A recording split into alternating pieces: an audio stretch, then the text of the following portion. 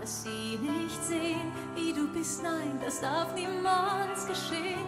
Du darfst nichts fühlen, zeig ihnen.